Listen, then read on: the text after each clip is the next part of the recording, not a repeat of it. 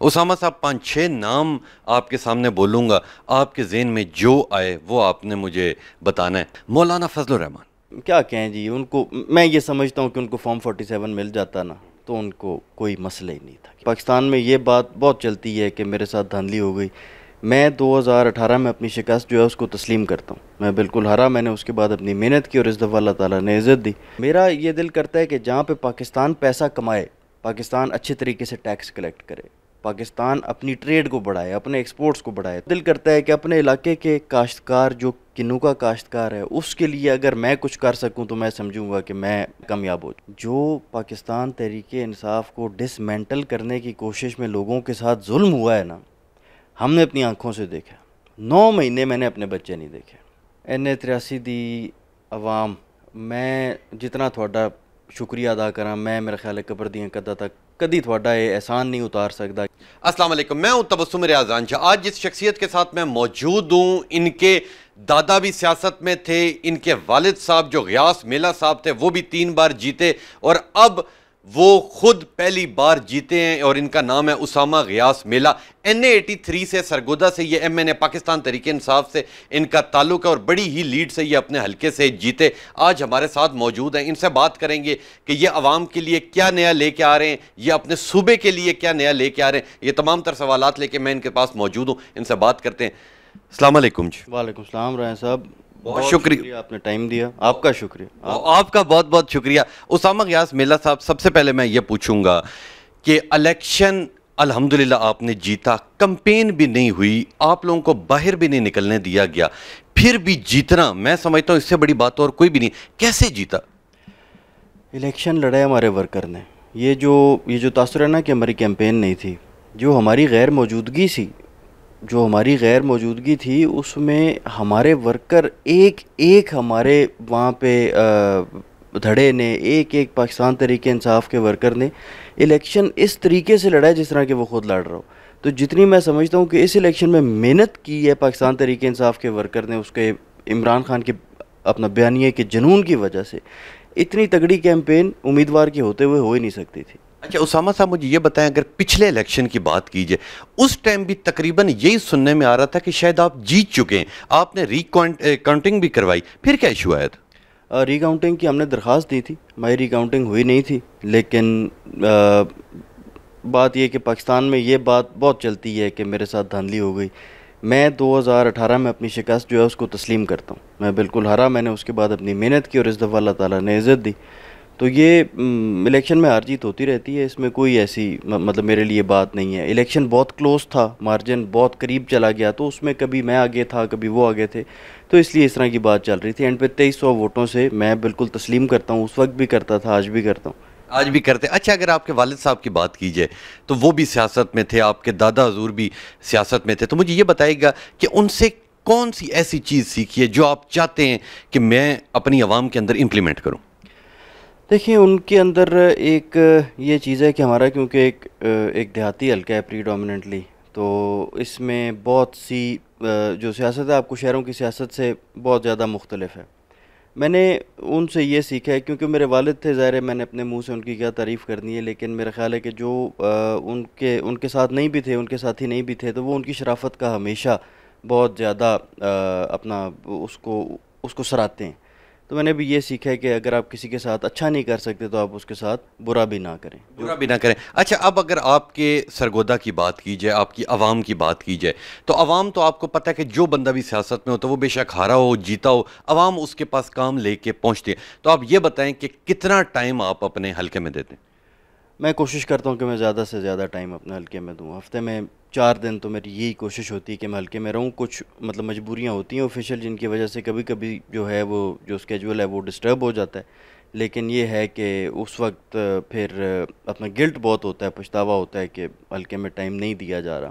تو کوشش یہی ہوگی انشاءاللہ کہ ہلکے میں زیادہ سے زیادہ ٹائم دیا جائے۔ زیادہ سے زیادہ ٹائم دیا جائے اچھا اگر مسئلہ مسائل کی بات کی جائے تو آپ کے جو این ایٹی تھری والا سرگودے والا حلقہ ہے، ادھر جب ہم نے سروے کروایا تو سروے کے اندر یہ نکلتا تھا کہ ایک تو وہاں پہ سب سے بڑا مسئلہ بجلی کیا ہے کہ بجلی تیئیس تیئیس گھنٹے وہاں پہ بجلی ہی نہیں آتی۔ اور دوسرا مسئلہ یہ تھا کہ جو موبائل کی سروس ہے، ٹھیک ہے، وہ وہاں پہ نہیں چلتی۔ اس بارے میں آپ کچھ نیا کریں گے؟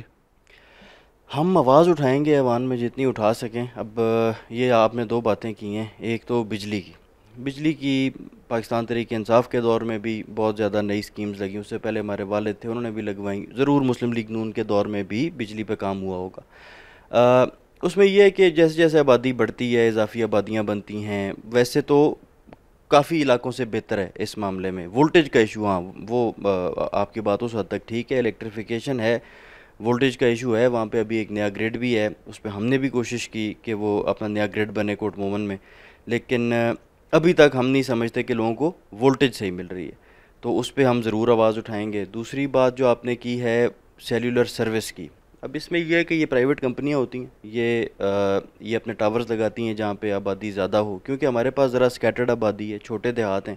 تو جو مطلب ہم نے کافی دفعہ کیونکہ وہ سرکاری نہیں تھے تو میں نے بہت دفعہ موبلنک والے ٹیل نور والے ان سے رابطہ میں نے کوشش کی۔ کافی زیادہ کہ ہمارے علاقے میں اس طرح یہ ایشوز ہیں۔ لیکن ان کا بس ایک ہی ہوتا تھا کہ یہاں پہ یہ ہمارے جو پہلے بھی ٹاورز لگے ہوئے ہیں، یہ لاس میکنگ ہیں۔ کیونکہ آبادی کم ہوتی ہے اسکیٹرڈ آبادی ہے، دیہات ہیں۔ تو ایک دو جگہ پہ ہم کامیاب بھی ہوئے، لیکن زیادہ تر کیونکہ وہ پرائیویٹ ان کے ان کے اپنے بزنس ہیں، تو اس لیے وہ ادھر نہیں۔ لیکن اب ٹیکنالوجی بہت زیادہ آ گئی ہے۔ ان شاء اللہ تعالیٰ لوگ جو ہیں وہ آہستہ آہستہ مطلب ڈیوائسیز آ گئی ہیں۔ ابھی یہ سیٹلائٹ سسٹمز اس طرح کے آ گئے ہیں کہ انشاءاللہ انٹرنیٹ کنیکٹیوٹی وغیرہ جو ہے یہ آہستہ آہستہ بڑھتی جائے گی۔ بڑھتی جائے گی۔ اچھا اگر ایجوکیشن اور تعلیم کی بات کی جائے، تو آپ کے حلقے کے اندر اگر دیکھا جائے، تو بچیوں کی جو تعلیم ہے، اس کے اوپر زیادہ فوکس نہیں کیا جاتا، ٹھیک ہے؟ اور ایک بات وہاں سے بڑے عرصے پرانی ایک مشہور ہے کہ جو بھی وہاں ایم این اے بنتا ہے جو بھی وڈیرا ہوتا ہے، وہ اس لیے نہیں اسکول، کالج وہاں پہ بناتا کہ کہیں یہ لوگ پڑھ کے آگے نہ بڑھ جائیں۔ ٹھیک ہے؟ اس چیز، اس بیانیہ کو آپ نے کب ختم کرنا؟ یہ ایسا بیانیہ الحمدللہ نہیں ہے۔ جو جتنے بھی دیہات ہیں، چاہے جتنے بھی وہ کسی زیادہ سے زیادہ بیکورڈ ایریا میں ہوں وہاں پہ گرل اسکول جو ہیں وہ موجود ہیں الحمد للہ اور جو ایجوکیشن کا مسئلہ ہے نا، وہ یہ ہے کہ وہ پورے پاکستان کا جو مسئلہ ہے کہ ایجوکیشن کس کوالٹی کی آگے امپارٹ کی جا رہی ہے۔ اس کا مسئلہ ہے، پھر تھوڑا سا ایک سوسائٹل مسئلہ بھی ہے، کیونکہ ایجوکیشن مطلب میٹرک تک نہیں ہوتی ایجوکیشن تو مطلب کبھی خبر وہ وہ کبھی ختم ہی نہیں ہوتی۔ ہم ابھی بھی طالب علم ہیں، آپ بھی ہیں، میں بھی ہوں۔ تو یہ ایک بڑی کانسٹنٹ چیز ہوتی ہے اپنے کلچر کے اندر ایجوکیشن لے کے آنی کیونکہ میں کچھ عرصہ اس ملک سے باہر رہا ہوں، پڑھتا رہا ہوں، تو ہم وہاں پہ بس میں بیٹھ کے سفر بھی کرتے تھے نا۔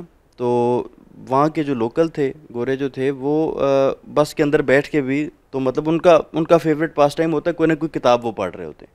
اب آپ دیکھیں آپ کسی ڈیوو پہ یا کسی بھی اپنا بس پہ ٹریول کریں، آپ کو کتنے لوگ ملیں گے جو کتاب پڑھ رہے ہوں گے؟ تو یہ بیسکلی ہمارے اس کا حصہ نہیں ہے۔ ہمارے ہمارے کلچر کا ابھی تک بدقسمتی سے ستر سال میں ہم اس کو حصہ نہیں بنا سکے۔ بنانے کی اشد ضرورت ہے۔ بچے خاص طور پہ بچیاں، میں سمجھتا ہوں جتنا ایک پوٹینشل اس ملک کے نوجوان فیمیل میل جو بھی ہوں، ان میں ہے۔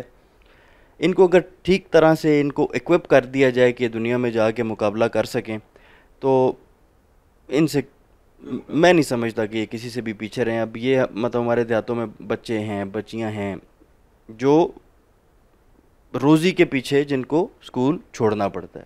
سب سے بڑا یہ ایشو ہوتا ہے۔ خواتین کی جہاں تک بات ہے، آپ کی بات ایک حد تک درست ہے کہ کچھ علاقے ابھی تک ہیں جہاں پہ ابھی تک وہ ایڈورس ہیں اس چیز کو۔ اب بیسک بات یہ ہے کہ میں نے دیکھا ہے خواتین، آپ خود ہمارے علاقے سے ہیں، آپ وہاں پہ اپنا ایک گاؤں سے ہیں۔ جب خواتین جو ڈرائیو شو کر کے پڑھ جائیں، کامیاب ہو جائیں، تو پھر باقی ماں باپ بھی دیکھ کے، تو یہ اپنی بچوں کو بھی پڑھائیں گے۔ اب بات یہ ہے کہ یہ ایک سکسیس سٹوری ہوتی ہے، جس سے سارے دیکھ کے تو اس طرف چل پڑتے ہیں۔ ہمارا الحمدللہ باقی ایریا سے بہت اس معاملے میں بہتر ضرور ہیں لیکن یہ ہے کہ بچیوں میں ڈرائیو بہت زیادہ ہے اور ان کو اس طرح موقع نہیں دیا جاتا۔ ملا کوئی مطلب سو مجبوری ہوتی ہے کلچرل چیزیں سوشل چیزیں۔ اس کو چینج ہونے کی بہت ضرورت ہے۔ چینج ہونے کی بہت ضرورت ہے۔ اچھا اگر اسمبلی کی بات کی جائے تو اسمبلی کے اندر آپ کی ہم اکثر سپیچ سنتے بھی ہیں۔ کس طرف آپ کا دل چاہتا ہے کہ یار میں اس سسٹم کو اس طرح چینج کر سکتا ہوں، یا میں اپنے حلقے کے اندر یہ والی بات اگر یہ لوگ میری مان جائیں، ٹھیک ہے، تو شاید پورے پنجاب کو ہی فائدہ ہو جائے۔ دیکھیے، ایک تو بات ہے اپنا قومی سطح پہ میرا یہ خواہش ہوگی، میری یہ کوشش ہوگی کہ یہ کہنا بہت آسان ہے کہ یہاں پہ اسپتال بن جائے تو حالات بہتر ہو جائیں گے۔ یہاں پہ اسکول بن جائے، کالج بن جائے، یونیورسٹی بن جائے، یہ سڑک بن جائے، موٹر وے بن جائے۔ پاکستان کا ایشو ہے کہ پیسے لگانے سب کو آتے ہیں۔ حیثیت سے زیادہ لگانے سب کو آتے ہیں۔ پیسے کمانے کسی کو نہیں آتے۔ اس کی پھر جو اس کا رزلٹ یہ نکلتا ہے کہ سیلری کلاس پہ بوجھ بزنسز پہ بوجھ ایکسپورٹ کم، قرضے زیادہ، یہ مسائل ہیں۔ تو میرا یہ دل کرتا ہے کہ جہاں پہ پاکستان پیسہ کمائے، پاکستان اچھے طریقے سے ٹیکس کلیکٹ کرے، پاکستان اپنی ٹریڈ کو بڑھائے، اپنے ایکسپورٹس کو بڑھائے، تو میرا یہ دل کرے گا کہ اس میں جتنا کردار ہم ادا کر سکیں اور ہم نے دیکھا بھی ہے کیونکہ آپ کو، آپ اس علاقے سے بہت بخوبی واقف ہیں۔ کنو ہے۔ باقی علاقوں میں گندم، منجی، یہ چیزیں کاشت ہوتی ہیں، ہمارے پاس بھی ہوتی ہیں، لیکن زیادہ ہمارے پاس کنو ہے، جو کہ ایک فروٹ ایسا ہے جو ایکسپورٹ ہوتا ہے، ہر سال ایکسپورٹ ہوتا ہے۔ سال در سال اس کی ایکسپورٹ نیچے جائے جا رہی۔ اور ہم یہ بھی سنتے ہیں کہ پاکستان کی ایکسپورٹس نہیں ہیں، پاکستان کو باہر سے ڈالروں میں قرضے لینے پڑتے ہیں، پھر وہ ڈالروں میں واپس دینے پڑتے ہیں۔ یہی ہمارا ایک مسئلہ چلتا رہتا ہے۔ تو اس میں بہت دل کرتا ہے کہ اپنے علاقے کے کاشتکار جو کنو کا کاشتکار ہے اس کے لیے اگر میں کچھ کر سکوں تو میں سمجھوں گا کہ میں کہ میں کامیاب ہو چکا آپ کامیاب ہو گئے۔ اچھا آپ اسامہ صاحب کیونکہ ہیں پاکستان تحریک انصاف کے پر آپ آزاد حیثیت سے آپ نے الیکشن جیتا۔ اچھا جیتنے کے بعد پاکستان مسلم لیگ نون کی بات کی جائے یا پیپلز پارٹی کی بات کی جائے ان میں سے کسی نے آپ کو اپروچ کیا کہ آپ ہمارے ساتھ ملیں؟ جیتنے ایک تو جیتنے کے بعد اپروچ ڈائریکٹ ایسے کسی نے بھی نہیں کیا۔ انڈائریکٹلی دوستوں نے کہا فلانے بندے سے مل لیں فلانے حکومت میں آ جائیں۔ جی حکومت میں آ جائیں۔ جی اپروچ آپ نے ریجیکٹ کر دی۔ جی ظاہر ہے عمران خان کے ووٹ پہ عمران خان کے ووٹ کے اوپر آپ آئے۔ ٹھیک ہے مجھے ایک اور چیز بتائیے گا کہ اگر اس پورے علاقے کی بات کی جائے ٹھیک ہے اکثر یہ کہا جاتا ہے کہ جو بھی ایم این اے بنتا ہے وہ کروڑوں روپیہ لگاتا ہے تب جیتا ہے۔ ٹھیک ہے اس پر آپ کے بھی کئی کروڑ تو لگے ہوں گے؟ نہیں آپ یقین کریں نہیں لگے۔ پچھلی بار لگے تھے۔ پچھلی بار بھی۔ دیکھیں ہمارے علاقے میں نا میرا آپ کے بارے میں میں نے یہ بھی سنا ہے کہ آپ ہمیشہ ڈور ٹو ڈور کمپین کرتے کوئی گھر آپ چھوڑتے نہیں۔ اس کی کیا وجہ؟ کوشش کرتے ہیں کہ ڈور ٹو ڈور کیمپین کی جائے۔ میں سمجھتا ہوں کہ پچھلی دفعہ ہمارے الیکشن میں کمی ہی یہ تھی کہ ڈور ٹو ڈور کیمپین نہیں ہوئی۔ میرا بھی پہلا الیکشن تھا اتنا بالکل بھی تجربہ نہیں تھا۔ تو الیکشن کیمپین میں بڑی غلطیاں تھیں۔ اور اس دفعہ میں سمجھتا ہوں کہ ان غلطیوں کو ایڈریس کیا تو اپنی غیر موجودگی میں بھی اللہ تعالیٰ نے عزت دے دی ہے۔ اللہ نے عزت دے دی۔ اچھا اکثر یہ کہا جاتا ہے کہ جب کوئی ایم این اے بن جاتا ہے تو جو چھوٹے موٹے چوری کے قتل کے مقدمات ہوتے ہیں وہ لوگ اپروچ کرتے ہیں کہ یار یہ تھانے کچہریوں سے ہمارا اللیگل کام نکال دیں۔ تو ہم کیونکہ سارے بیکورڈ ایریا سے تعلق رکھتے ہیں تو ہماری طرف یہ چیزیں کچھ زیادہ ہوتی ہیں۔ ان چیزوں کو کیسے ہینڈل کرتے ہیں؟ آپ بالکل ٹھیک بات کر رہے ہیں۔ یہ کہ تھانہ کلچر جو ہے وہ بہت زیادہ ہوتا جا بھی رہا ہے۔ یہ بھی نہیں کہ وقت گزرنے کے ساتھ وہ مطلب کم ہو رہا ہے، بلکہ اس کو، جو اس کو کم ہونا چاہیے، یہ بڑھتا جا رہا ہے۔ اب دیکھیں، ایک سائل ہے۔ اس کو اگر اس کی سنید نہیں ہو رہی، پولیس اسٹیشن میں، کچہری میں، محکمہ مال ہے، پٹواری ہوتے ہیں۔ یہاں پہ رشوت بھی چلتی ہے کانٹیکٹس بھی چلتے ہیں نیٹ ورک بھی چلتا ہے، سیاست بھی چلتی۔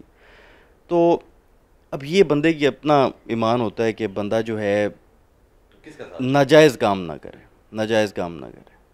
بالکل ٹھیک کہہ رہے ہیں، بالکل ٹھیک ہے۔ اچھا آخری سوال کی جان جاتا ہوں اور پھر میں آپ سے کچھ نام آپ کے سامنے بولوں گا اور اس کے بارے میں جو آپ کے ذہن میں آئے بتائے گا۔ آخری سوال میرا آپ سے یہ ہے کہ بجٹ ابھی پیش ہوا، اس میں اتنے زیادہ ٹیکسز لگائے گئے۔ ٹھیک ہے، اب ہمارے جو دیہاتی لوگ ہیں، انہیں تو کوئی پتہ ہی نہیں ہوتا کہ جی کیا ٹیکس ہے، کیا نہیں ہے۔ ٹھیک ہے، تو مجھے بتائیں، مہنگائی پہلے سے بڑھتی جا رہی ہے، جو بھی حکومت آتی ہے، یہ کہتی ہے کہ جی اب ہم جو قرضہ لیں گے، اب سارے کا سارا عوام کے اوپر لگے گا۔ وہاں سے قرضہ آ جاتا ہے۔ قرضہ آنے کے بعد جاتا کدھر ہے؟ میں آپ کو ایک مثال دیتا ہوں کہ قرضہ اس حد تک ہمارا بڑھ گیا ہے کہ اس سال جو ہم نے قرضے کے مد میں سود دینا ہے نا وہ ہے ساڑھے آٹھ ہزار ارب۔ اچھا۔ ساڑھے آٹھ ہزار ارب۔ یہ میں نے اسمبلی میں بھی بات کی کہ اس سال جو ہم نے نیا قرضہ لینا ہے نا وہ بھی ساڑھے آٹھ ہزار ارب ہے۔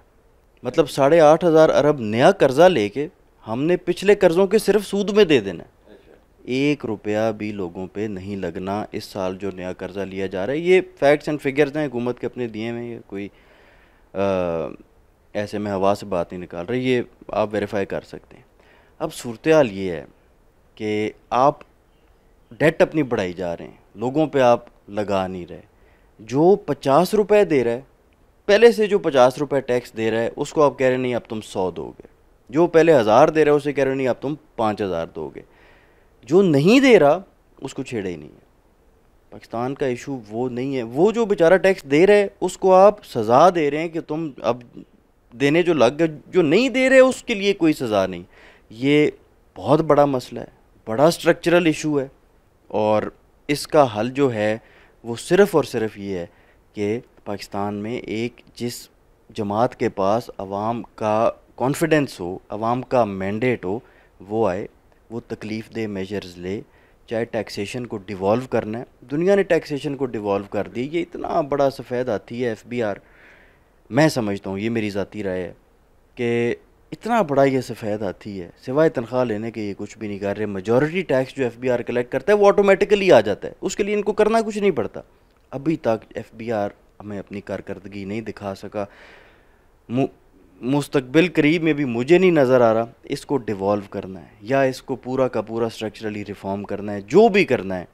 اس طرح سے نہیں چل سکتا کہ جو پہلے دے رہے ہیں، ان پہ ان پہ مزید بو اب اس دفعہ جو نئی چیزیں ہیں ہائیبریڈ گاڑیوں پہ ڈیوٹی بڑھ گئی۔ اب آپ پہلے تیل امپورٹ کر رہے ہیں، جس چیز نے آپ کے تیل کی امپورٹ میں وہ کمی لانی ہے، اس پہ آپ نے ڈیوٹی بڑھا دی۔ بچوں کے دودھ پہ آپ ڈیوٹی بڑھا رہے ہیں۔ اسٹیشنری پہ آپ ڈیوٹی بڑھا رہے ہیں۔ ایکسپورٹر کا انسینٹیو پہلے ڈالر آ نہیں رہا ایکسپورٹر کا انسینٹیو ختم کر رہے ہیں۔ بجلی پہ ٹیکس بڑھا رہے ہیں پیٹرولیم لیوی بڑھا رہے ہیں۔ وہ یہی ہے کہ جو عام عوام کو افیکٹ کرتا ہے سارے ان کے اوپر ٹیکس اب سیلریڈ کلاس کے ہزار بندے نے جو پانچ پانچ سو دے کے جمع کرنا ہے وہ آپ کسی ایک امیر آدمی کو پکڑ لیں۔ اس کو یقین اس اس پانچ سو سے وہ جو سیلریڈ آدمی ہے اس کی پورے مہینے کا بجٹ ڈسٹرب ہو جائے گا۔ لیکن آپ ایک امیر آدمی سے وہ ہزار، دو ہزار بندے جتنا آپ ٹیکس کلیکٹ کر سکتے ہیں، آپ کرنا چاہتے نہیں ہیں۔ بالکل ٹھیک کہہ رہے ہیں، بالکل ٹھیک کہہ رہے ہیں۔ اسامہ صاحب، ایک آخری سوال میرے ذہن میں آ گیا کہ عمران خان صاحب کا جتنے ان کے ووٹر سپورٹرز ہیں، جتنے ایم این اے اور ان کا اپنا بھی، کہ میں نے اس اس چیز کو ختم کیا کہ جس طرح نواز شریف ہے شباز شریف ہے، مریم نواز ہے، حمزہ شباز ہے، ایک پوری لاٹ چلتی آ رہی ہے۔ بنظیر بھٹو، آصف زرداری، بلاول، آصفہ، اگر مولانا فضل الرحمان اسد اس چیز کو یہ کہتے تھے میں نے ختم کرنا ہے۔ اب اگر بات کی جائے آپ لوگوں کے وائس چیئرمین کی، تو شاہ محمود قریشی صاحب بھی سیاست میں، زین قریشی بھی، مہربانو قریشی بھی۔ تو مجھے یہ بتائیں کہ پھر آپ لوگوں کا بیانیہ یہاں آ کے کیوں چینج ہو جاتا ہے؟ میں آپ کو بتاتا ہوں۔ پاکستان کی نا کچھ سوشل ریالٹیز ہیں۔ ہم پاکستان طریقے انصاف کے ٹکٹ دینے والے عمل میں شامل رہے ہیں، اپنی ڈویژن کی حد تک۔ یہ میں آپ کو انڈر اوتھ بات کر رہا ہوں کہ جہاں پہ خاندان میں دو یا تین ٹکٹ جا رہے ہوتے تھے خان صاحب کا یہی ہوتا تھا اگر تین جا رہے نہیں ان کو تین نہیں دینے پھر مطلب دو کر دو۔ دو نہیں دینے ایک کر دو۔ تو وہ جتنی بہتری بندہ لانے کی وہ لانے کی کوشش کرتا ہے۔ کچھ جگہیں ایسی ہوتی ہیں جہاں پہ ایک بھائی کی سیاست اپنے دوسرے بھائی سے بالکل الگ ہوتی ہے۔ وہ سیاسی ورکر ہوتے ہیں سیاسی مطلب فیملیز ہوتی ہیں ان کا وہ ان کے یہ خون میں ہوتی ہے چیز، لوگوں کے اندر اٹھنا، بیٹھنا، ان کے کام کرنے کی کوشش کرنی، ان کی ایک مطلب پہلے سے لوگوں کے ساتھ ایک ایک ریلیشن شپ بڑی اپنا بنی ہوئی ہوتی ہے۔ تو ایک سیاسی ورکر کامیاب ہو، چاہے وہ دو بھائیوں، میں ذاتی طور پہ سمجھتا ہوں کہ کوئی حرج نہیں ہے۔ بات یہ ہے کہ میں نے جہاں تک دیکھا ہے، یہ میں الفن آپ کو بات بتا رہا ہوں، کہیں پہ کسی فیملی کو، کوئی آ جائے میری میری بہن کو اسپیشل سیٹ پہ ایم پی اے بنا دیں۔ ادھر مطلب پورا پورا خاندان ہے، آپ نے دیکھا ہے۔ یہ بھی نہیں کہ جو رولنگ فیملی ہے، یہ ہیں تو رولنگ فیملیز ہی نا۔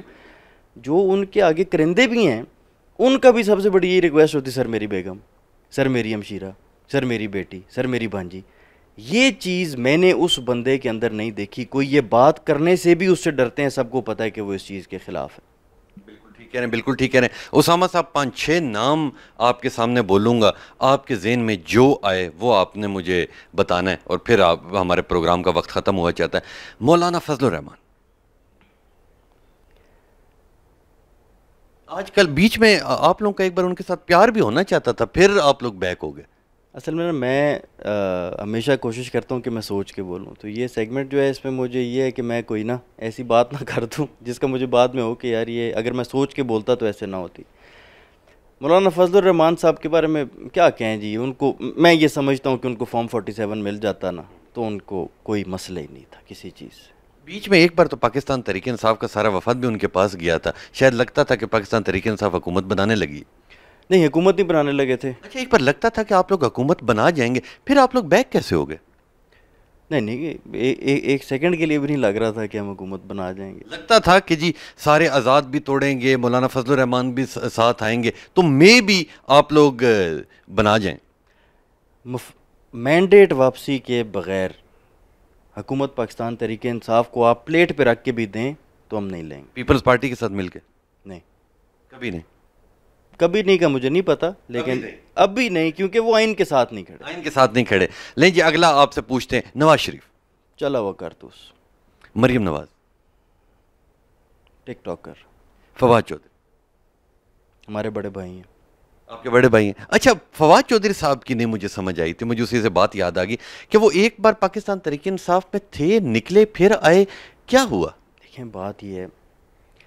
جو پاکستان تحریک انصاف کو ڈسمینٹل کرنے کی کوشش میں لوگوں کے ساتھ ظلم ہوا ہے نا ہم نے اپنی آنکھوں سے دیکھا نو مہینے میں نے اپنے بچے نہیں دیکھے۔ آپ بہ رہے ہیں؟ ٹھیک ہے۔ نہیں پاکستان میں رہا ہوں لیکن میں چھپا رہا ہوں آگے پیچھے رو پوچھ رہا ہوں۔ جھوٹی ایف آئی آرز تھی میرے پہ۔ اچھا میں نے ایک سوال آپ سے پوچھنا تھا میں بھول گیا۔